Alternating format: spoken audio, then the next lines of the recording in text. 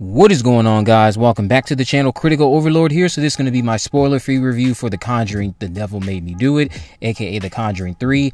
Just got out of a press screening to see this film. Now, just to get it out of the way for those of you that are wondering whether I liked it or not, I will start off by saying I did like this film, but I am going to be one of the ones joining in on saying this is the weakest entry in this Conjuring trilogy. Now, it's continuing, of course, the trend that we see with these third entries for a lot of these trilogies that they have their entries where they get to the third one is kind of like the, considered the weakest outing. The Conjuring 3, The Devil Made Me Do It. It's a so, it's a solid movie overall in terms of the fact that it's compelling in many ways, but at times it's just uneven overall compared to the other two films. Patrick Wilson and Vera Farmiga, they make up for a lot of the unevenness that you get in this one. The central narrative that we are revolving around at this at this stage with The Devil Made Me Do It, it's a chilling story of terror, murder, and unknown evil that shocked even experienced real life paranormal investigators Ed and Lorraine Warren. One of the most sensational cases from their files, it starts with a fight for the soul of a young boy, then takes them beyond anything they'd ever seen before to mark the first time in U.S. history that a murder suspect would claim demonic possession as defense. So, of course, the film we have Patrick Wilson, Vera Farmiga, and then we have Ruairi O'Connor. We have Sarah Catherine Hook, Julian Hilliard, John Noble, Eugene Bodent, and Shannon Kook. And the screenplay this time around is coming to us from David Leslie Johnson, or David Leslie and Johnson McGoldrick. James Wan steps away from the director's chair. Michael Chaves, who directed The Curse of La Llorona, he's at the helm. I know that was one of the biggest things that you guys were worried about, myself included. A lot of us were worried about this guy taking the helm away from James Wan. That's not a big detriment to this movie at all whatsoever. Michael Chaves, he definitely does a more better job directing this than he did with The Curse of La Llorona. This movie does have a lot more tense elements to it than I feel it did than I, than I feel he had with The Curse of La Llorona.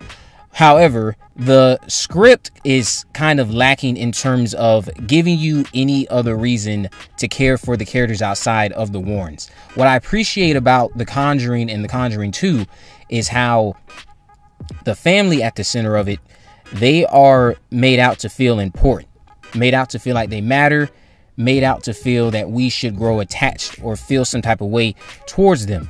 With these characters in this one, outside of the Warrens, they feel very underwhelming. They don't feel like they are very important, especially Arnie's character, played by oh, played by Ruairi O'Connor. While the character in of itself is what's at the center of what we are dealing with this time around, he kind of takes a back seat once things kick it into gear and he's put on trial. He's being held at a facility up until his uh, court case where they're going to either find him guilty or innocent. Most of the film is just Ed and Lorraine Warren going around trying to figure out what is connecting Arnie's case to several other similar cases. I do like the ideas raised here about whether or not demons are the scariest things out there or those who actually summon them, or in this case, I guess, literally conjure them up.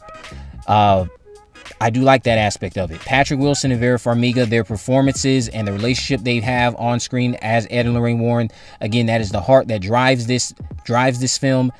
The other characters, Arnie, his girlfriend, uh, Debbie, they just don't they don't hit as they don't hit well. When you're not focusing on the warrens these other characters they are just very bland.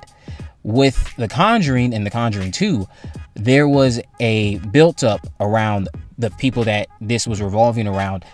I think that's kind of a hindrance to them breaking away from the haunted house formula. They're not they're not putting as much focus this time around on what is causing the warrens to get involved in the first place with the first two films, with the Perron family and then the family in the second film, we get to spend time with this family and it builds up to earned scares, scares that are very they're jump scares, but they feel earned and they're not cheap. The Conjuring the Devil Made Me Do It opts for cheap scares. Now the opening sequence is by far the one of the best opening sequences in this franchise.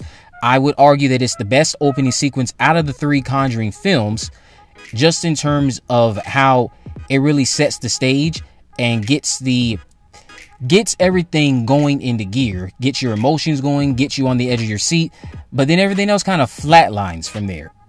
Again, it's not that the movie itself isn't good.